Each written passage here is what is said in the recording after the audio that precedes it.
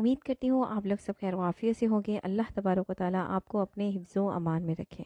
आज एक भाई का सवाल है, वो पूछते हैं कि, डॉक्टर साहिबा, मुझे ये बता दें कि हम बिस्तरी के दौरान बीवी की पस्तान को सक करना, छेड़छाड़ करना क्या जायज़ है? इस्लाम में मेरी जो बीवी है, वो बच्चे को दूध पिलाती है।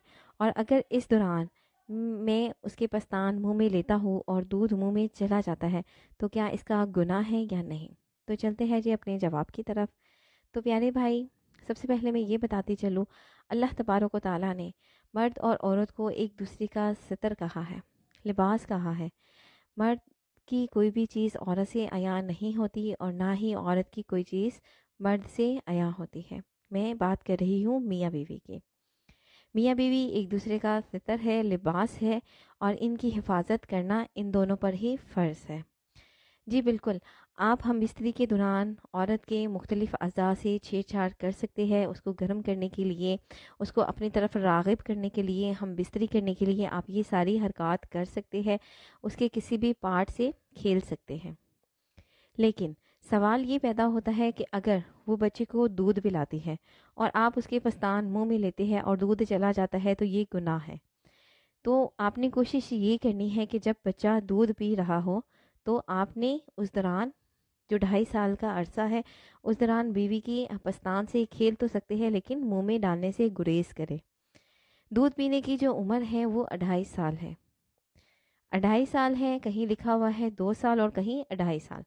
मतलब अगर बच्चा भी दो साल के बाद ढाई साल के बाद माँ का दूध पीता है तो गुनाह है।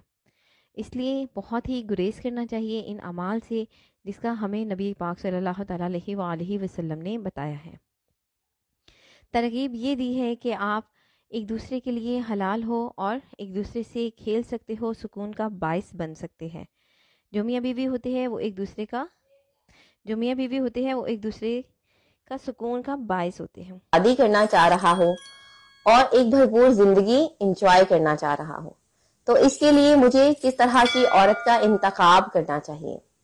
मतलब मोटी औरत का इंतखाब करना चाहिए या स्मार्ट औरत तो देखिए प्यारे भाई, मोटी औरत और पतली औरत, दोनों से ही शादी होती है और होती ही चली जा रही है।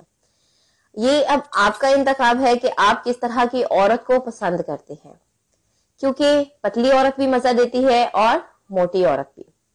मोटी औरत का ये होता है कि उसके पस्तान उभरे हुए होते हैं, ज़्यादा होते हैं और वो सॉफ्ट होती है। और कुछ मर्दों को वो जो है पस्तान उभरे हुए ज़्यादा पसंद आते हैं तो इसीलिए वो मोटी औरत का इंतखाब करते हैं। लसत के लिहाज से दोनों औरतें एक ही जैसी होती है।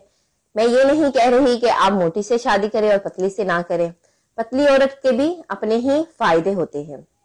आप इसको गौत में बिठा सकते हैं, अपने ऊपर लिटा सकते हैं और जिस तरह चाहे इससे हम बिस्तरी करवा सकते हैं।